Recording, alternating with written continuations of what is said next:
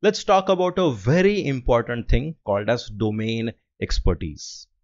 Let me go back. So you see, we talk about business impact and then we have think about domain. What is domain?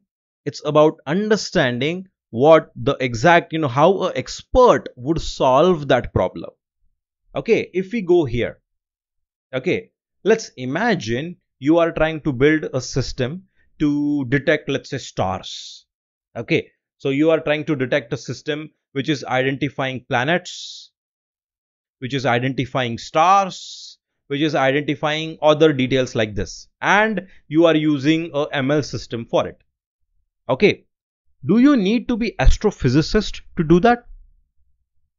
Probably not if the problem is very simple. Okay.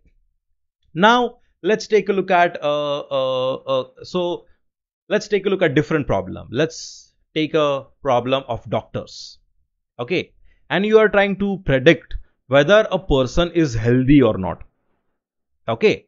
Now simply by giving ecgs to a ai or ml system or a deep learning system whatever it may be simply giving ecgs and based on them detecting healthy or unhealthy is actually not enough. Why? Because a doctor will be able to identify, oh, is that a heart wall problem? Is there any cholesterol uh, buildup happening? Or is the heart capacity less? Is the fitness the problem? Is diet the problem? Or is, you know, heart attack, because of heart attack, the heart has become bad? Or there are a lot of things which are possible. A doctor is able to understand them very well. So you see, if you want to detect, create any medical system, you can't do that without help of a domain expert. Because you see, ML, wait, where's my stylus? Oh, yeah. You see, ML system or a deep learning system, they all learn from data, right? They all learn from data. You can't just randomly give any data. You a domain expert can actually tell you what is the most important point in the data. Maybe if we take an example of ECG, doctor could tell you, okay, this pattern, this pattern, uh, these pattern, these three patterns are very important. So you already know they are important. You don't have to hope that machine learning will find it out. Maybe machine learning will learn something else. We don't know whether it has learned the right thing or not, whether it is focusing on the right thing or not, that is only determined by the domain expert.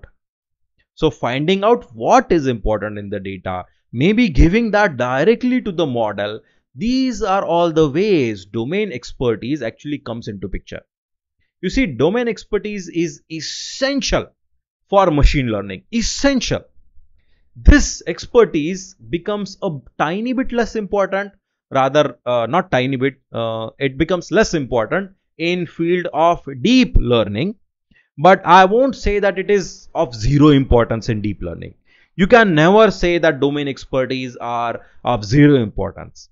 You see domain expertise is important in deep learning and it is critical in machine learning.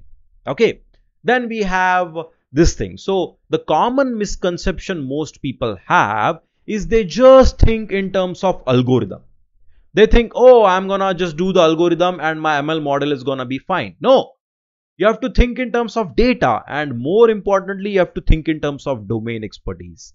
So that is when you are actually not just, you know, having a narrow expertise, you actually have wide expertise and you are taking a look at this thing as a complete 360 degree point of view look at the problem so how can you kind of like uh, learn this okay the simplest way to learn this is do this exercise think up of any domain you are interested in any domain you are interested in and think up of problems in that domain and how machine learning can help in that so uh, whatever domain I am interested in. For example, I am interested in movies or novels or something else. If I think about problems in that domain, then only I can actually combine my ML expertise with domain expertise. once you do the generation then you can you know uh, do reading on quora or reddit to kind of like you know uh, read the answers of experts who are working in that specific domain because what we want to do is we want to find out intersection of domain and machine learning so once you have done that then you can actually graduate to this step where you actually talk directly with a domain expert.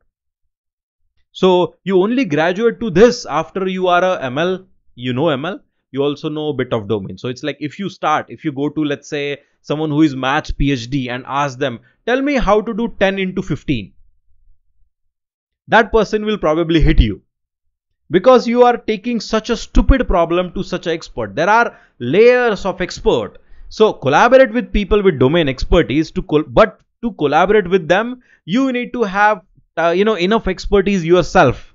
You incrementally find experts whom you can collaborate with.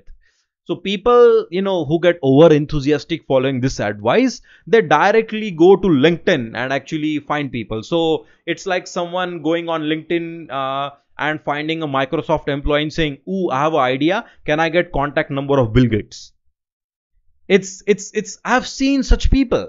I've seen such people who do that. So don't take this advice very far unless you know where you exactly are in reality you can't move forward you see uh, going taking a philosophical tone there are two things so self awareness yuval harari says that self awareness is very important because self awareness gives you where you are. If you know where you are then you can actually say okay i'm not where i want to be. So where you want to be if you can see that there is a delta in that then you can actually learn. Okay? But I have seen many people who have a delusion that they are where where they want to be. So because they don't know the reality of where they actually are, they never take even a single step forward in their life. Because they think they are already there. They don't think they're lacking. So the same thought process you have to kind of like have here. So you have to incrementally start becoming a domain, uh, at least not an expert, but at least, you know, domain newbie or at least someone who is aware of everything. And but keep in mind that we are, we can't be expert in multiple domains. That is why this thing is important. Any domain you want to work in, that is what you learn.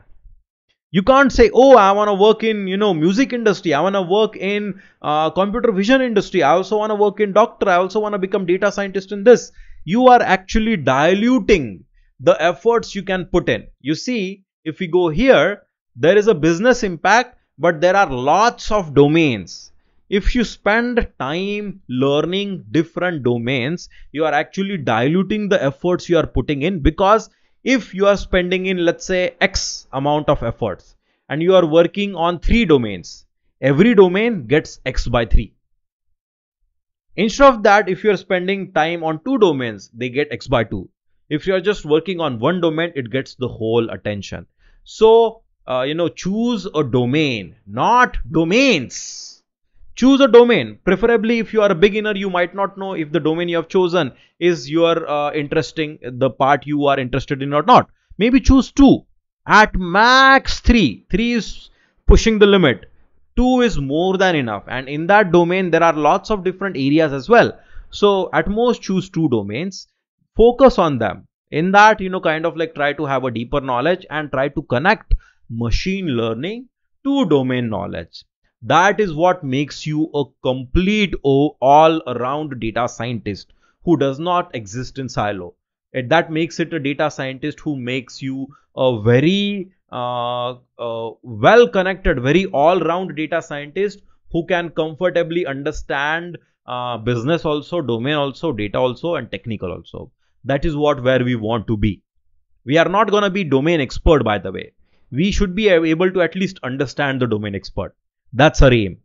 We are going to be technical expert, but someone who understands domain expert. Similarly, we are going to be a technical expert, someone who understands business. If we don't understand the business, then we are going in blind.